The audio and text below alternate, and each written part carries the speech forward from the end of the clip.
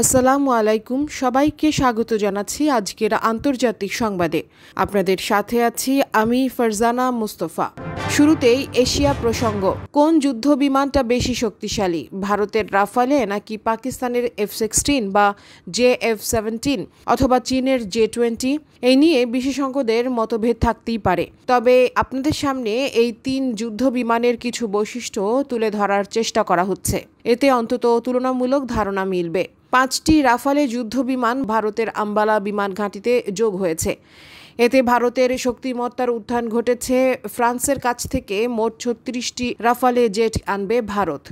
দু হাজার একুশের শেষ নাগা তাদের হাতে চলে আসবে। তখন তাদের বিমান বাহিনী অন্য দুই দেশের তুলনায় কি আরও বেশি শক্তিশালী হয়ে উঠবে? তবে পাকিস্তান এবং চীনও কিন্তু ক্ষমতা সম্পন্ন যুদ্ধ বিমানের মালিক। দ্য স্টেট অব আর্ট চার দশমিক পাঁচ প্রজন্মের রাফালে জেট প্রায় শব্দের দ্বিগুণ গতিতে ছুটতে সক্ষম। এটি ঘন্টায় দুই হাজার দুশো বাইশ দশমিক ছয় কিলোমিটার বেগে ছুটতে পারে। এই বিমানের নানাবিধ কার্যক্ষমতা রয়েছে। ইলেকট্রনিক ওয়ারফেয়ার, বিমান প্রতিরক্ষা, গ্রাউন্ড সাপোর্ট এবং আঘাত হানার ক্ষেত্রে রাফালে আকাশে দারুণ ক্ষমতাধর। অন্যদিকে চীনের জে টোয়েন্টি এবং পাকিস্তানের জে এফ সেভেন্টিন যুদ্ধ বিমান যথাক্রমে ঘন্টায় সর্বোচ্চ দু হাজার চারশো কিলোমিটার এবং এক কিলোমিটার গতিতে ছুটতে সক্ষম। মাটি থেকে ছোড়া মিসাইল থেকে বাঁচতে রাফালে পঞ্চাশ হাজার ফুট পর্যন্ত উঠে যেতে পারে। আর জে টোয়েন্টি বা এফ সেভেন্টিন মিসাইল থেকে বাঁচতে যথাক্রমে পঁয়ষট্টি হাজার ছশো বিশ ফুট এবং চুয়ান্ন হাজার ফুট পর্যন্ত উপরে উঠে যেতে পারে। চীনের জে টোয়েন্টি চেংদু জেটকে বলা হয় পঞ্চম প্রজন্মের যুদ্ধ বিমান। তবে চার দশমিক পাঁচ প্রজন্মের রাফালের সাথে তুলনা করতে গেলে বলতে হয় জে টোয়েন্টি এর যুদ্ধের কোনো অভিজ্ঞতা নেই। অর্থাৎ যুদ্ধক্ষেত্রে এই বিমানের ক্ষমতা এখনও পরখ করা যায়নি। তবে যুদ্ধে রাফালের সক্ষমতা প্রমাণিত। আফগানিস্তান, লিবিয়া এবং মালিতে এই যুদ্ধ বিমান ব্যবহার করেছে ফ্রান্স।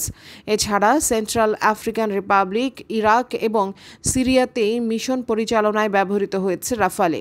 আবার জে টোয়েন্টি এর তুলনায় বেশি পরিমাণে জ্বালানি ও অস্ত্র বহনে সক্ষম রাফালে। তাছাড়া পাকিস্তানের জে এফ সেভেন্টিন বিমানও কোনো যুদ্ধে তার ক্যারিশমা দেখানোর সুযোগ পায়নি। পাকিস্তানের এফ সিক্সটিন যুদ্ধ বিমান M M R A M missile বহনে সক্ষম, যার বিভিআর পঁচাত্তর কিলোমিটার। প্রতিটা রাফালে বিমানে অস্ত্র বহনে চোদ্দটি স্টোরেজ স্টেশন রয়েছে। এতে রয়েছে এতে রয়েছে Meteor air to air missile, এর বিয়ন্ড ভিজুয়াল রেঞ্জ একশো কিলোমিটারের বেশি। এটি ঘন্টায় চার হাজার দুশো বিশ কিলোমিটার বেগে ছুটতে পারে, তবে এর সর্বোচ্চ গতি ঘন্টায় দু হাজার চারশো চোদ্দ কিলোমিটার। এই যুদ্ধ বিমান বহন করতে পারে A I M nine sidewinder short range air to air missile. AIM AMR AAM medium range air to air missile এবং AGM sixty five Maverick air to ground missile এটা ক্লাস্টার বম্ব লেজার ও GPS গাইডের missile বহনেও সক্ষম। রাফালের jet অনেকগুলো অত্যাধুনিক lethal weapon বহন করতে পারে। এটা SCALP missile MICA air to air missile air to ground Hammer missile ইত্যাদি বহন করতে পারে। এটি আরও লেজার গাইডেড বম বহন করে, যাতে বিভিন্ন ধরনের ওয়ারহেড থাকতে পারে। এতে আরও নন গাইডেড ক্লাসিক বম্ব রাখারও ব্যবস্থা রয়েছে। অন্যদিকে আচমকা কঠিন পরীক্ষার মুখে পড়েছেন পাকিস্তানের প্রধানমন্ত্রী ইমরান খান। আস্থা ভোটের সম্মুখীন হতে পারে সরকার। তার আগেই ইমরান খান বার্তা দিয়েছেন যে প্রয়োজনে বিরোধী আসনে বসবেন, কিন্তু দুর্নীতি নিয়ে আপোষ করবেন না। সংখ্যা যে তার অনুকূলে নয়, কার্যত সেই ইঙ্গিত দেন পাকিস্তানের প্রধানমন্ত্রী। পাকিস্তানের সিনেট নির্বাচনে গোপন ব্যালটে বুধবার পরাজিত হয়েছেন অর্থমন্ত্রী আব্দুল হাফিজ শেখ। তাকে হারিয়েছেন বিরোধীদের যৌথ প্রার্থী সাবেক প্রধানমন্ত্রী ইউসুফ রাজা গিলানি। ইমরানের দলের সাংসদরাই বিরোধী প্রার্থীর জন্য ভোট দেন। দেশের উদ্দেশ্যে দেয়া ভাষণে ইমরান বলেন যে, তিনি দুর্নীতি নিয়ে আপোষ করবেন না। তিনি বলেন, অনেকে ভেবেছিল যে, আস্থা ভোটের খাঁড়া ঝুলিয়ে তাকে দিয়ে দুর্নীতির মামলাগুলি বন্ধ করিয়ে দেবে। নিজের দলের সদস্যদেরই কার্যত চ্যালেঞ্জ করে ইমরান খান বলেন, জাতীয় সংসদে প্রকাশ্য ভোট হবে। সকল সদস্যকে বলছি, গণতান্ত্রিক অধিকার প্রয়োগ করে বলুন, আপনারা ইমরান খানের সঙ্গে আছেন কিনা হেরে গেলে বিরোধী আসনে বসব। প্রায় তিরিশ মিনিটের ভাষণে বারবার দুর্নীতির কথা উল্লেখ করে ইমরান খান খান বলেন, টাকা দিয়ে ভোট কিনেছে বিরোধীরা। পুরনো মামলাগুলো খুঁচিয়ে বার করা হচ্ছে বলেই তার বিরুদ্ধে এত ক্ষোভ বলে জানান তিনি। তার নিজের দলেই পনেরো থেকে ষোলো জন বিক্রি হয়ে গিয়েছে বলেও দাবি করেন ইমরান। এফ এটিএফ যে সন্ত্রাসে টাকা ব্যবহার রোধের জন্য প্ল্যান দিয়েছে, সেটার জন্য আইন সংশোধন করতে হবে। কিন্তু সেটা করতেও বিরোধীরা বাধা দিচ্ছে বলে তিনি অভিযোগ করেন। নির্বাচন কমিশনের বিরুদ্ধেও গণতন্ত্রকে খাটো করার অভিযোগ তোলেন ইমরান। কারণ গোপন ব্যালটে ভোট দেওয়ার ফলে ভোট কেনা বেচা হয়েছে বলে তার দাবি। বর্তমানে লন্ডনে থাকা নওয়াজ শরীফের বিরুদ্ধেও তোপ দাগেন ইমরান। তিনি হাজার হাজার কোটি টাকার দুর্নীতির সঙ্গে যুক্ত বলে অভিযোগ ইমরান খানের। বর্তমানে একশো সদস্যের সিনেটে ইমরান খানের সমর্থনে মাত্র সাতচল্লিশ জন আছেন বলে জানা গিয়েছে। সব মিলিয়ে তার পক্ষে হার এড়ানো কঠিন হবে বলে মনে করছেন বিশেষজ্ঞরা।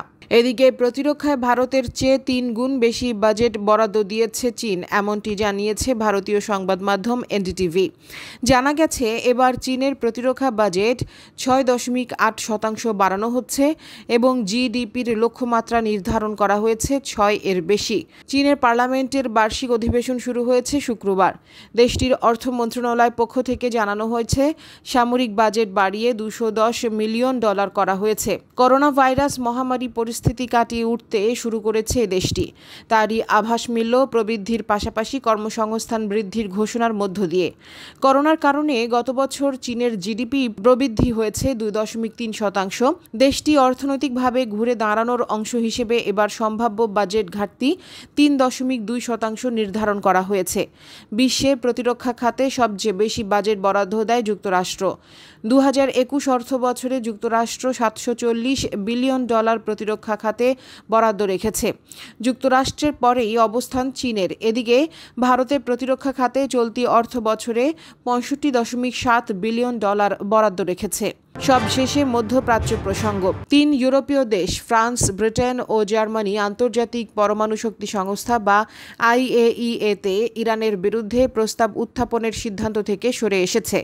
ইউরোপীয় কূটনীতিকদের বরাত দিয়ে বার্তা সংস্থা এএফপি ও রয়টার্স এ খবর জানিয়েছে, আইএইএতে গত কয়েকদিন ধরে ইরান বিরোধী প্রস্তাব উত্থাপিত হতে পারে বলে কূটনৈতিক চ্যানেলে খবর পাওয়ার পর তেহরানে এ ব্যাপারে কঠোর হুঁশিয়ারি উচ্চারণ করেছিল। এদিকে আইএ ইউএই এর মহাপরিচালক রাফাল গ্রোসি ইরানের সঙ্গে টেকনিক্যাল বৈঠকে বসার জন্য আগামী এক মাস পর আবারও ইরান সফরে আসবেন বলে ঘোষণা করেছেন।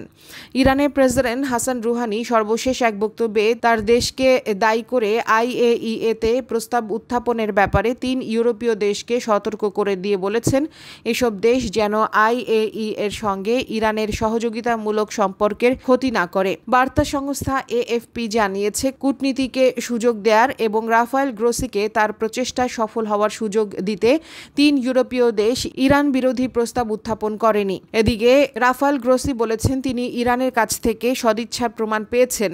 তিনি আরও বলেন, ইরান টেকনিক্যাল বৈঠক আয়োজনে সম্মত হয়েছে।